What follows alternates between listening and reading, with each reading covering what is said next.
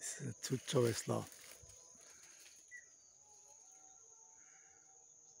We found here in uh, jungle hike with a couple of friends from Ireland, Juliana and Chris.